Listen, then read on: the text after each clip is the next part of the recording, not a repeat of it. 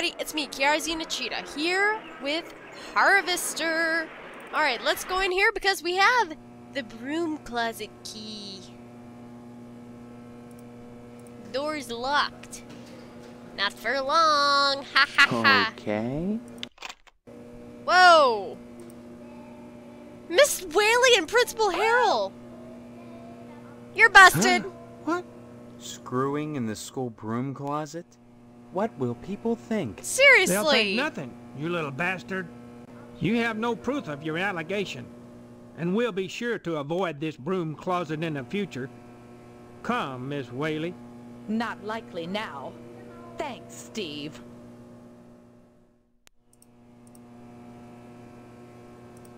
Don't I still have the key? I still have the key.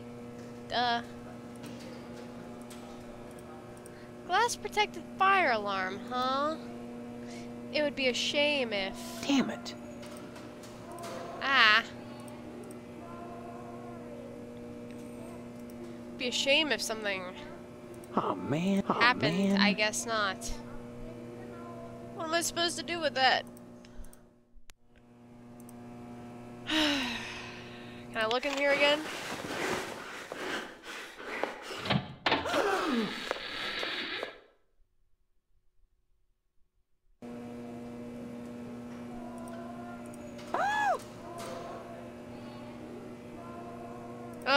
Damn.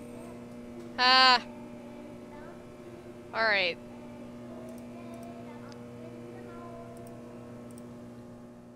Is there nowhere else I can actually go or do anything? Well then. Okay. Well, I learned something, I guess. Uh, let's go talk to Mr. Potsdam, because... Mofo buried a kid alive. Hey. Did you say hello to your father for me? Uh, no, I haven't seen him. It's very important. Tell him. Tell him that I hope he gets better soon, and and don't forget to remind him about his promise regarding the meat. I could use some good news right now. I just got the word. The order turned down my latest application. Looks like we'll be having the wedding at Moynihan's after all. Ah.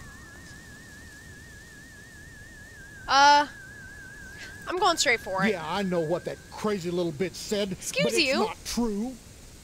I was at home that night. Mrs. Potsdam will vouch for me. Isn't that right, Mrs. Potsdam? That's right, Mr. Potsdam. Hello, Steve. Care to stay for some pot roast? Forget the pot roast, Mother. Pot roast isn't for backstabbers, for persecutors. I won't share my meat with him. My meat! My meat!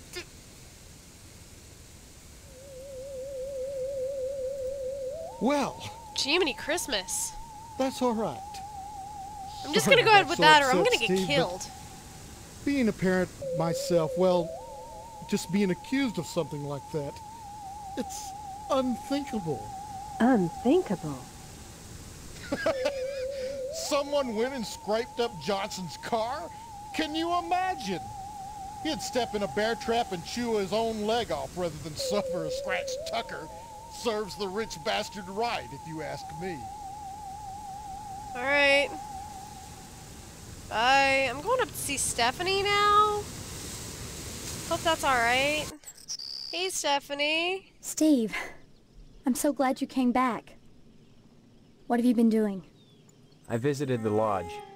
Talked to the sergeant at arms there. He knows that there's something out of whack here. He told me if I wanted to find out what it is, I should join the lodge. I've decided to join the lodge, Stephanie. I think the answer to all our questions is inside. That place. It's so sinister. I know. Maybe, but I have to join. You may be playing right into their hands. Did you think of that? Doesn't it seem like you're being herded toward the lodge? That's one of the things I hope to find out. Yeah. I hope finding out doesn't get you killed. Hopefully not. That would suck. My faux mother keeps me up on the latest gossip. Not like she really wants to talk to me. more like she's feeding me information. For instance, she told me that Mr. Johnson's Tucker was vandalized. Oh? I Had That's to another do with weird that. thing. Every car I've seen drive by is a Tucker. There were only 31 produced. What are the odds of that? I've always wanted a Tucker. Funny that Harvest would be full of them. Yeah. Any idea who scratched the car? I didn't. Why would you do something like that? It's part of the Lodge initiation. I see. Yeah. Look, I don't know what's going on here, but getting into the Lodge is the best way to find out. By committing vandalism? Yes. Harmless enough, Frank. It was a crime, Steve. Don't be so melodramatic about it. I've heard of worse fraternity initiations. True. Sorry.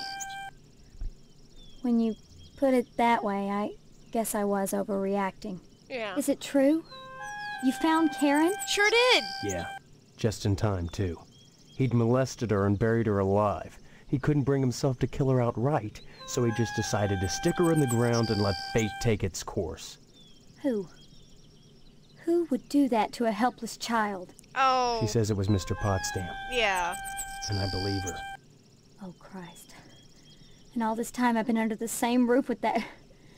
with that thing watching me. Take it easy, okay? So, at least they'll be coming to take him away, won't they? Um, not exactly. Come back and visit me soon, okay? Okay. I severely doubt that um they're gonna have anything done to Mr. Potsdam.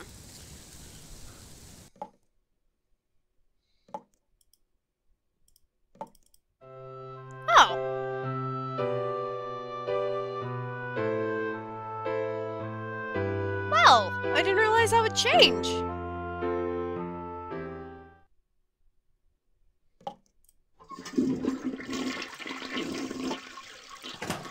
I'm gonna look in the medicine cabinet again. Yeast disinfectant not to be used for baking cookies. 300 yards of dental floss. I don't understand why I can't pick up the band-aids. Like, I'm probably going to need band-aids by the end of this. But nah. And I don't think it would help her if I said, hey, by the way, You might want to be extra nice to Mr. Potsdam today, Steve. He was turned down by the lodge again. Guess we're having the wedding at Mr. Moynihan's after all. bye. Give my regards to your parents. Sure. Actually, I gotta go check something. Because if I'm right.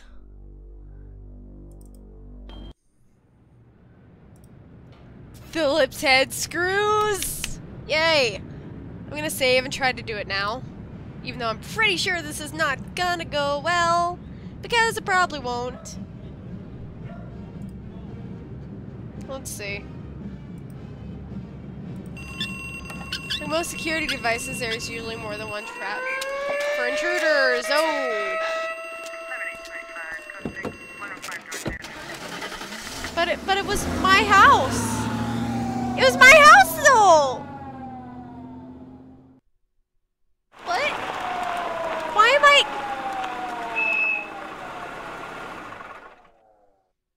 I go and die. This is your first arrest, Steve. Oh. You just remember, we've got a three strikes, you're out rule here in Harvest. But you keep your nose clean. You hear? Okay.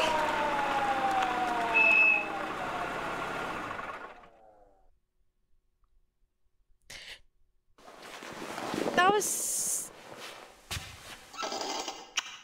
Can you not? Okay, I'm gonna. I'm gonna load my game, and I, I'm gonna. I'm gonna pretend that never happened. Oh no, it was just a dream. Okay. Let's see.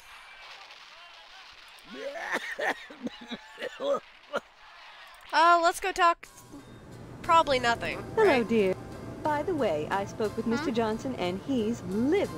Seems someone scratched up his priceless tucker. If he finds out who, there'll be heck to pay. Congratulations, hero. You found Karen after all.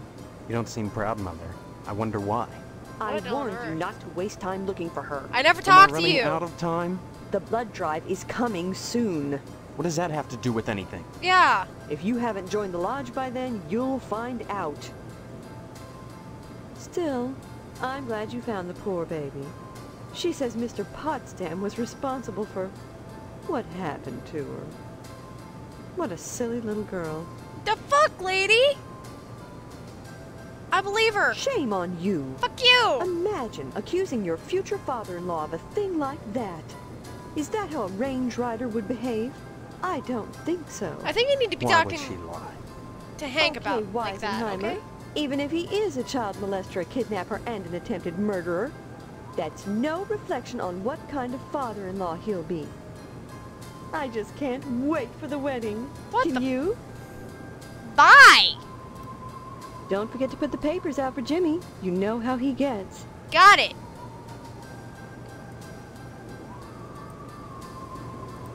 My brain hurts, everybody.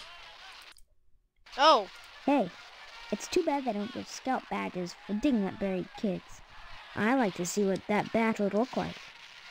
I went over to ask her what it was like, being buried alive and all. But she just stared at me, and twitched, and drooled. Guess I got my answer. Huh. I guess so. Bye, Yeah. Hank. Finally. Schmer. Okay. um. Oh. We need to tell uh Colonel Buster Monroe that apparently the firemen aren't commies. Who goes there? It's Steve. just me. Steve. What do you want? Did the llamas send you? No, the llamas they feel That's me. good. Someone has to keep them in check. Mm. I remember you. You're the soldier I sent to check on the firemen. Did you find evidence of commie infiltration? No need for concern, Col- Colonel. They're not commies. Thank God for that. Your next assignment is to infiltrate the lodge before it's too late. Get it at all costs, mister. Or God help us all. Actually, I'm working Remember- on it. Duck and cover. Aye, aye, sir. All right. I don't know why I'm saying aye, aye. That's not even proper. Okay, and all right, let's go to the store.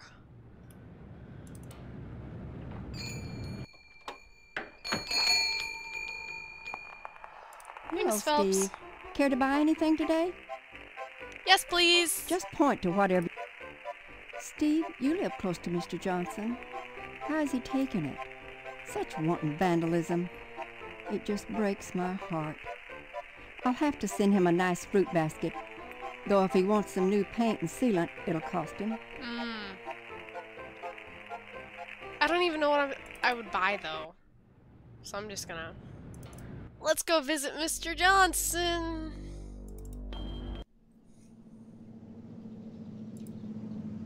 I'm saving because. Uh, uh, uh, Alright. Some rotten son bitch scratched my car. I'm My sorry. Tucker, my baby, my poor darling, my sweet cheeks. Oh.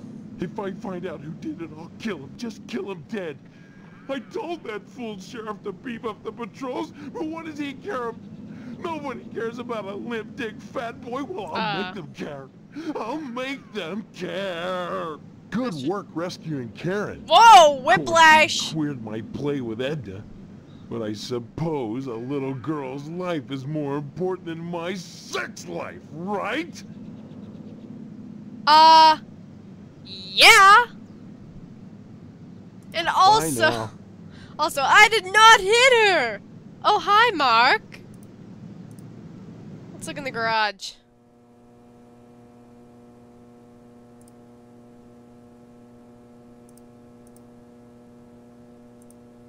Faded poster is a 1948 Sexiest Tomboy Award.